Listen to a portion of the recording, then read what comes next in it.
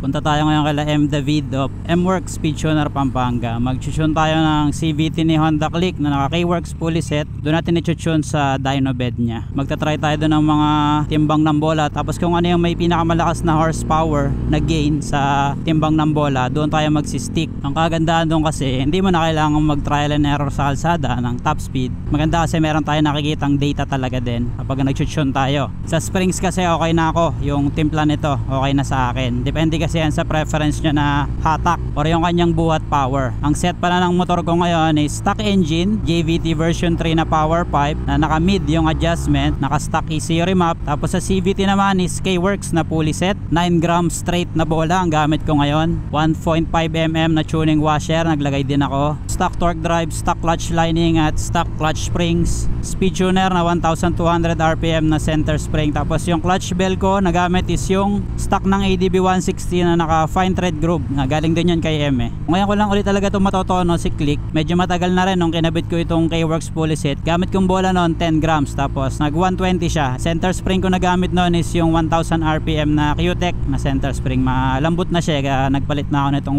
1.2 na switch tuner. So far okay naman siya yung RPM niya ngayon. Mas tumaas yung paggaganyan ka nasa 7.6 to 7.8 RPM minsan umabot siya ng 8,000 RPM yung pag piniga mo ng todo yung from nagko-cruising ka ng mabagal tapos bago gusto mong overtake parang ganito rin kasi yung preference ko ng RPM kay ADV pero malalaman natin doon kasi nga mag tune tayo ng bola. Biyahe muna ako doon kay M tapos balikan ko na lang kayo. Medyo malapit na. Kaso maraming ginagawa dito eh. Nire-regroup yung kalsada rito eh. Pagkakatanda ko. Sa labas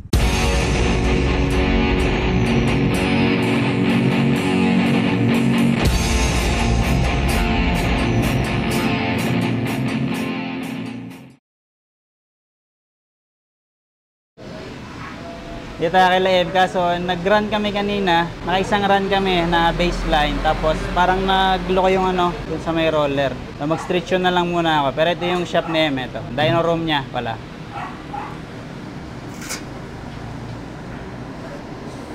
M-Works, Tuner Pampanga. Bro. Hi guys!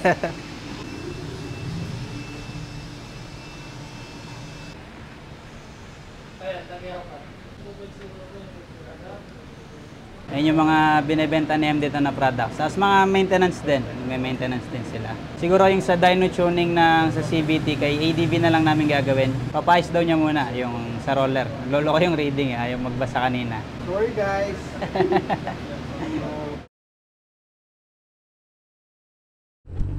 Dito tayo ngayon sa may New Clark City. Ang oras na ay 5.26pm. Try natin kunin yung top speed nito. Sa tono natin ngayon. Pwede pa naman ako mag-adjust. Kasi ayaw gumana ng roller na M. ah. Next time na lang doon pagka kay ADB na. Ito yung current set natin. Flash ko na lang sa screen.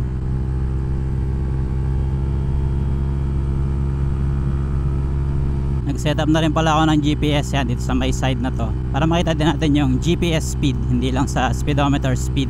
Yuko natin sa may straight doon.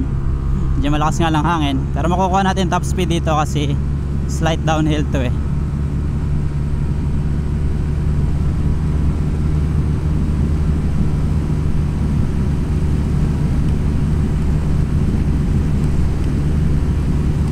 Ah, 120 na kagad.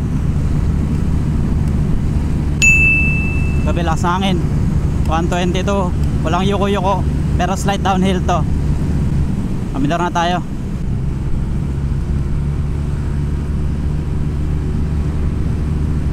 O isa pang bira. Slight downhill to ah.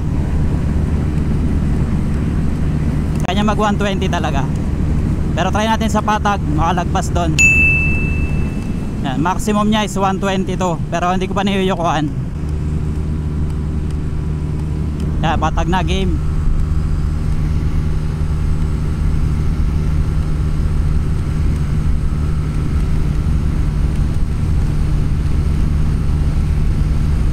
Oh, same pa rin ang speed natin, oh.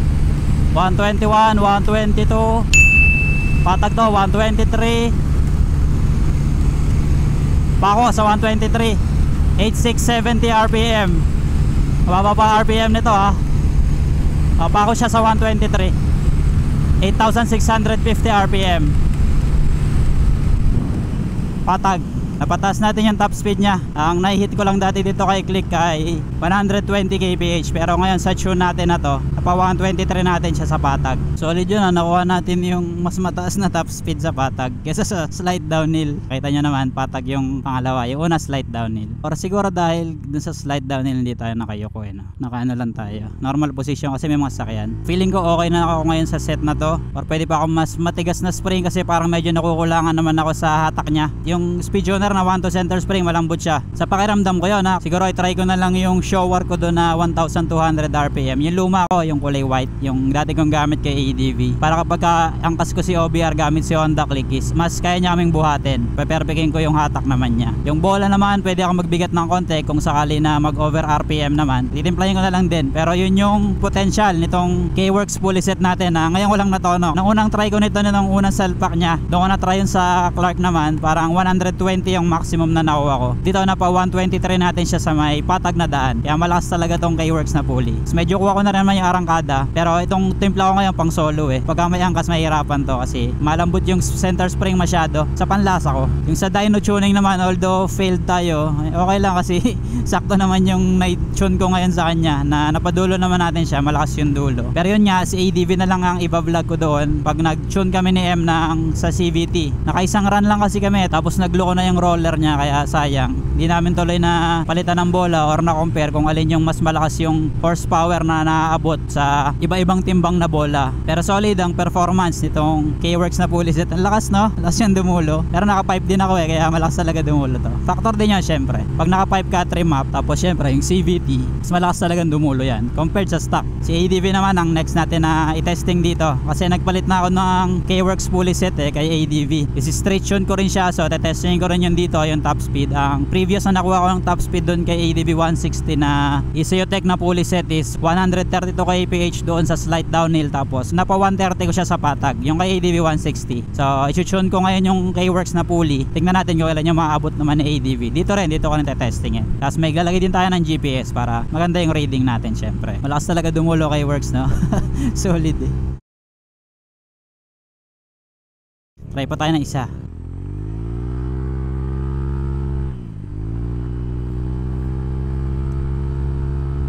slide downhill ulit. Para may reference tayo no? Ng dalawang run. So hindi ko na rin yuyukuhan to siguro kasi medyo may mga kasabay tayo dun eh. Modulate ko lang yung RPM nya yan sa 8.5 tayo maglalarong RPM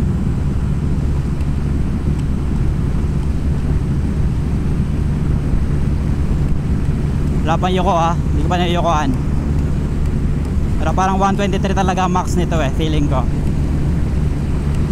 Ah, 123. Ayaw na niya umangat sa 123. Maximum niya na speed.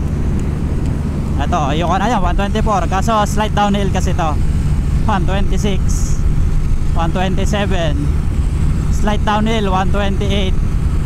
Nakayuko ako nito, 129. Pero dito sa patag, try pa ulit natin. Last run sa patag naman. Okay, patag. Yoko natin.